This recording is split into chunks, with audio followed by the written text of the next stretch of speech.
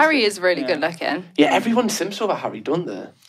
Uh, but I think, yeah, I- I'm a Harry simp. Harry simp.